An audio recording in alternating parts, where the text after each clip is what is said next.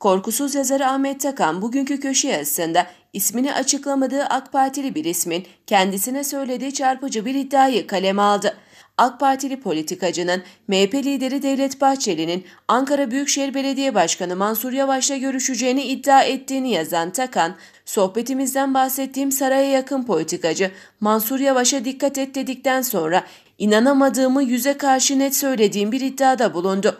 Devlet Bahçeli'nin ileride bir gün Mansur Yavaş'ı çağırıp görüştüklerini duyarsan sakın ha şaşırma değerlendirmesinde bulundu.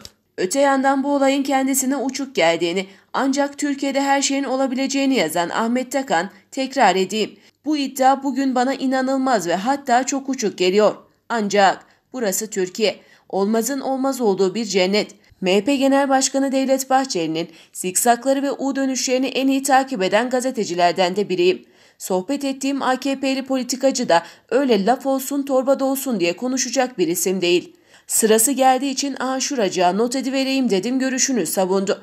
Mansur Yavaş gaza gelir mi diye soran Takan, tanıyabildiğim kadarıyla duygu insanıdır Mansur Yavaş. Sanmıyorum ancak gaza gelip gelmeyeceği hususunda net kesin kanaat ifade edemem dedi.